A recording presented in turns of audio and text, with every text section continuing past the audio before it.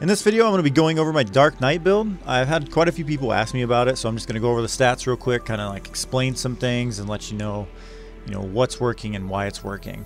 So let's jump into it.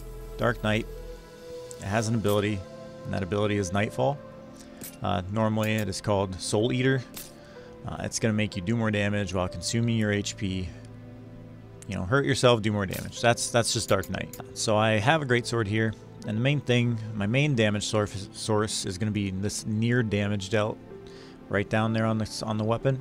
Uh, so the way that works as a real quick example is as long as you have Dark Knight Affinity 400%, this near death effect will always be active even if your life is at full health. Normally you would have to be near death, yeah, for it to activate, but because you have Dark Knight 400%, if you have it, that's going to raise it and you're always going to have it active 100% of the time. Now, the other parts, uh, you know, I have strength and intellect and near death. That's going to be kind of what you want to put on all your gear. And again, this is an example just for Dark Knight. You know, other jobs are going to use different things. And then, you know, more near death, damage dealt, uh, intellect, you know, and I, and don't get me wrong, this class does really good damage. My build is it's okay. It, it can be way better. But, I mean, it, it does what it needs to do, right? And I have Mighty Strikes, uh, so it makes the enemy weak to what you're doing.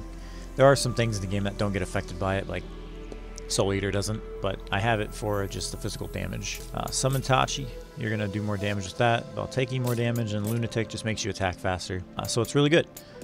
And then the main damage uh, source here is going to be my Greatsword ability or Edge. And why that is, is because it does Fire Element. And when I hit the enemy with fire, or any element in the game, with anything, uh, it's going to make that enemy weak to that element, and then you're going to do more damage to him. So it's a lot better than just using physical weapon skills, you know, just straight no element. And so the reason I have intellect and strength is because it allows me to do both of the damages together. And I, I mean just from playing and messing around with that and other stats I've noticed that that works really well at least on Dark Knight. And then you know your master points I put more into it and then more into near death. But yeah I mean that's just the basic concept and that's pretty much it. If you guys liked the video leave a like and subscribe and don't and feel free to leave a comment in the bottom if you want to know anything else or you have any questions